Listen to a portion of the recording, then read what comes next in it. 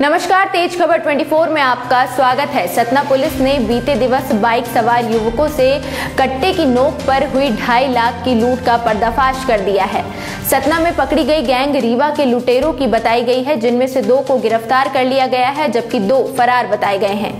लूट की इस वारदात में पकड़े गए बदमाशों के कब्जे से पुलिस ने एक लाख तीस हज़ार कैश व वारदात में प्रयुक्त कट्टा कारतूस सहित बुलेरो वाहन को जब्त कर लिया है। मामले का खुलासा आज सतना एसपी रियाज इकबाल ने किया है।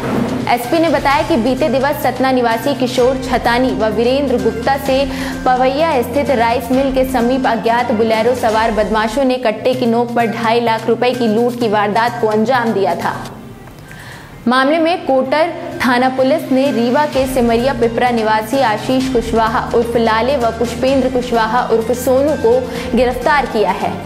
पकड़े गए आरोपियों के कब्जे से वारदात में प्रयुक्त कट्टा कारतूस सहित बुलेरो व लूटे गए एक लाख तीस हज़ार कैश बरामद किए गए हैं। बताया गया कि वारदात में दो अन्य बदमाश भी शामिल थे जो अभी भी फरार बताए गए हैं, जिनकी तलाश पुलिस द्वारा की जा रही है।